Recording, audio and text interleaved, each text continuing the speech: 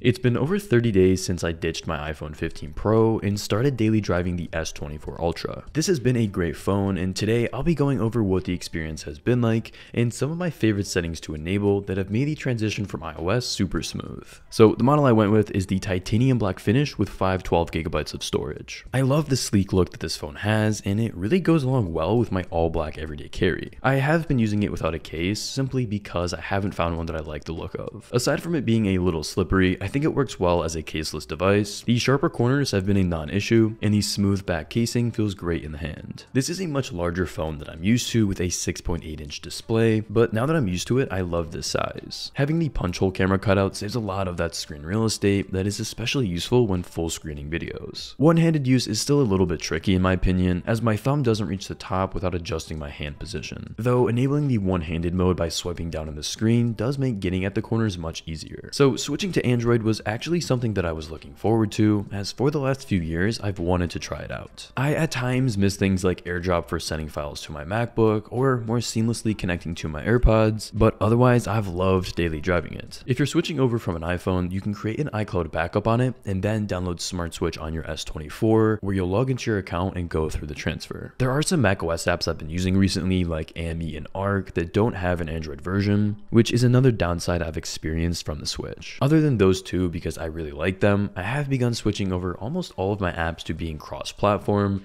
this just makes it possible that whatever device I'm on, I still have access to all of my data. Luckily, my calendar syncs up with Google Calendar, which I've had for years, and I've been using Google Tasks and Spark for reminders and email. While there is a huge benefit in having those cross-platform apps, the user experience of the native OS is what's more important. One UI 6, in my opinion, looks really clean. I love the minimal style that I've been able to create with it. There's a lot of customizations that you can make with Android itself, which is something I've really appreciated. If there's ever a setting or quirk with the OS that I don't like, 80% of the time the fix is a Google search away. I do find the settings to be a little harder to navigate just because there is so many submenus to get lost in, but the global search functionality has been a lot more useful than an iOS, so it makes up for it. One of the first changes I made was with gesture navigation, as a lot of you guys recommended it. This is far more convenient than the three buttons at bottom and works very similar, but often better than how iOS does it. If you want to have a smoother experience, you can enable developer mode by tapping on your build number seven times, and then head into developer options. I recommend you play around with the three animation scale options to see which feels best for you. You can completely turn them off to instantly activate gestures, or go with 0.5x, which is a solid middle ground. With these controls turned on, you have a universal back option by swiping left or right on the screen,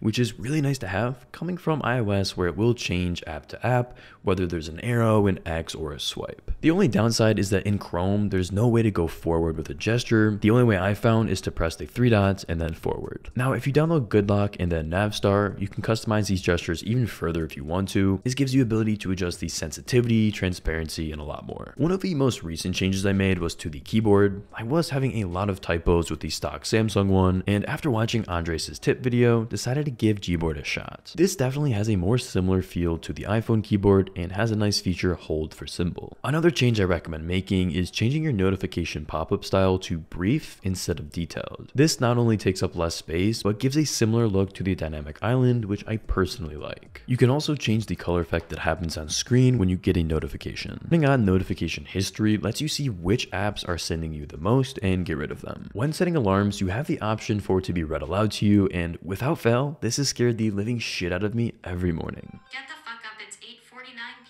Now, the S Pen is probably the thing I've used least with this phone, but it's came in really clutch in those couple of times where I wanted to draw out something quick and remembered I had it. If you are worried about losing it, you can go into settings and then the more S Pen settings tab to play a sound anytime you get too far away. The underscreen fingerprint reader for me has been a little finicky. I find that quite a lot I have to retry my fingerprint multiple times to properly unlock my phone. This can get annoying at the gym if I keep doing this between sets, which is why I actually enabled it to be a trusted environment, meaning that when I'm there, my phone stays unlocked. It's the same if I have my AirPods connected, and this just makes things easier. Of course, you open up some privacy issues here, so only do it if you're in a safe place. Now, on this phone, there is a 200 megapixel wide lens, 12 megapixel ultra wide lens, 50 megapixel telephoto with a 5x optical zoom, and then a 10 megapixel telephoto with a 3x optical zoom. I haven't taken this phone out to shoot all that much, but these are the settings that I found best to use. The first thing you may want to enable is the grid, as it just makes composing shots a little easier easier. Another useful feature is setting swipe shutter button to take a burst. In terms of quality, the main rear lens at 200 megapixels is going to be the best. The downside is these photos will take up quite a bit of space, so if you don't want to eat up all of your storage, head into the camera settings and advanced picture options, then enable high efficiency pictures. This will greatly reduce the file size, just keep in mind that some websites and apps aren't going to support it. When you're taking photos, you may or may not want Samsung to be applying their post-processing, so you can cycle between different optimization settings that will control how much this happens. I'd say most of the time the processing is actually quite good, but if you want the best picture out of this camera, going into Expert RAW and editing within Lightroom is your best bet. If you tend to use the same camera settings all of the time, definitely head into settings to keep and enable camera mode as well as high picture resolution. This way, if you always shoot at say 200 megapixels, you don't need to swap over to it every time. You can unlock even more customizations by downloading Camera Assistant, and this unlocks a new tab within the settings. The option I like most is zoom shortcuts. By default, 100x won't be shown, so you can enable that on. Just note this is an optical zoom on the 5x telephoto. There's also two settings that I think are worth playing around with depending on how you use your camera. The first is quick tap shutter, which will make taking a single photo a little faster, and then prioritize focus over speed, which waits for the camera to focus before taking a photo. I won't go into video just because I haven't really used it at all, but the stabilization has really impressed me. Now, battery life is going to be important, and for me, it's performed incredibly well. That said, I don't really use my phone all that much throughout the day. It's really just used to listen to Spotify and YouTube Premium. Most days I start at 100%, and then by the time I go to bed, I'm sitting somewhere around 50 to 60%. I charge wirelessly every night, so made sure that I enabled fast wireless charging. The phone also has reverse wireless charging when in a pinch, like if I forgot to charge my AirPods, is really nice to have. I highly recommend you take a look at the battery saving features. There's going to be three different modes that depending on how long you plan to use your phone are best. Samsung has promised over 7 years of software updates and so if you plan to use it for that entire period, I recommend using the maximum mode which only lets your phone charge to 80%. Of course, this is only going to be an option if you don't drain your phone every day. In that case, the adaptive is probably the best and is the one I have turned on. This uses the maximum mode while you're asleep and then changes to basic just in time for you to wake up. What it does is charge to 100% and then stop until it goes back to 95. Just note that if you fall asleep at varying times each night, this may not work as well. In terms of the AI features introduced with this phone, I haven't made too much use of them day to day, but I still think that they could be useful. Circle to search is really convenient to have. It isn't perfect at recognizing faces or like the exact brand of a product, but it does a pretty good job at telling you what a specific car may be. I use Notion, so haven't been able to take advantage of note summarizing, but from the testing I've done in the Notes app as well as the voice recorder,